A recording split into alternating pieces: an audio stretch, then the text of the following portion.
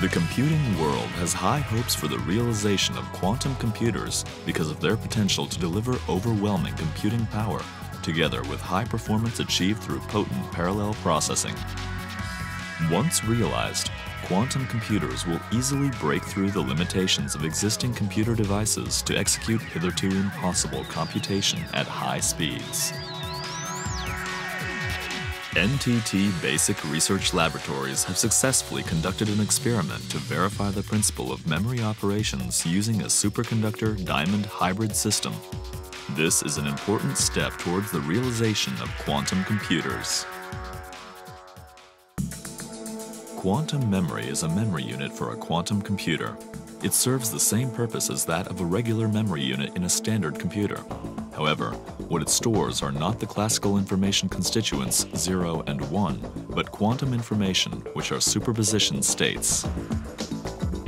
Superconducting qubits can operate at very high speeds and are highly extensible.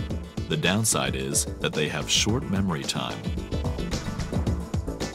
To address this issue, NTT Basic Research Laboratories focused on using electron spins in diamond as quantum memory.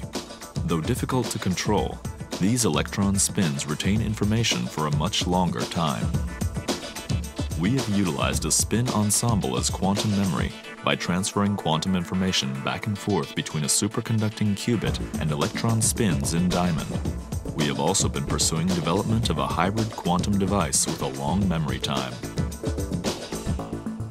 A superconducting qubit is a relatively simple circuit comprising Josephson junctions a current flows in a superconducting qubit from the beginning. This current represents the zero state. By applying an external microwave pulse to a qubit as a trigger, one can reverse the direction in which the current flows in the qubit. This changes the state of the qubit from 0 to 1.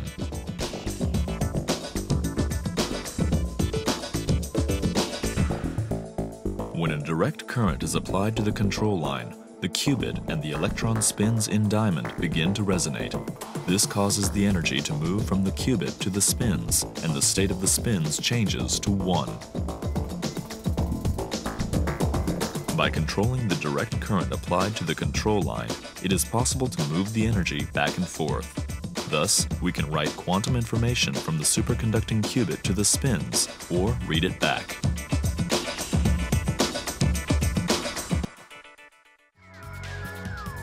The success achieved in this experiment suggests that the building of quantum memory, which is requisite for quantum computation, is not too far off.